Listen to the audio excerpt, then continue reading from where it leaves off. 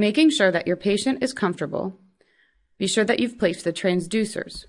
Remember, red is right and blue is left.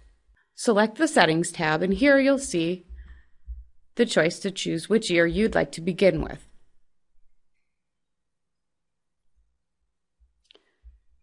A nice way to make sure that your patient is comfortable and ready to begin the test is to either select F9 or at the bottom choose Start EEG. Now you'll see the EEG window become active.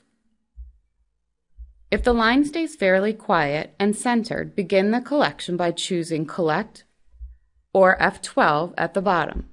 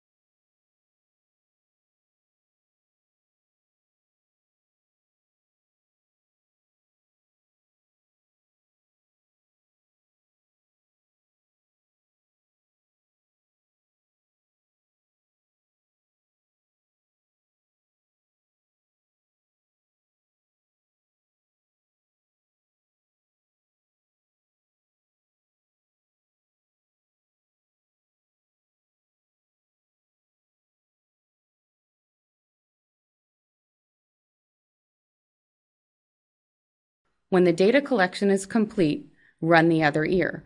Replication of the tracing is recommended.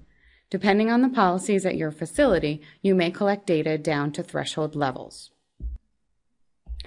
To select the other ear, come to the Settings tab and choose Right. Again, choose Start EEG, and if the EEG window looks calm, you may then select Collect.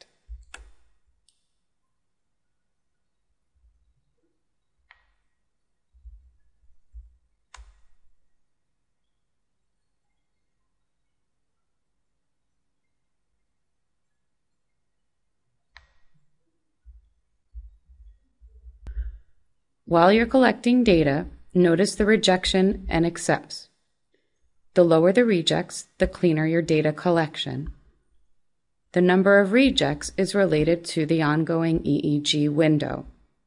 The more calm your patient, the less rejects you will have.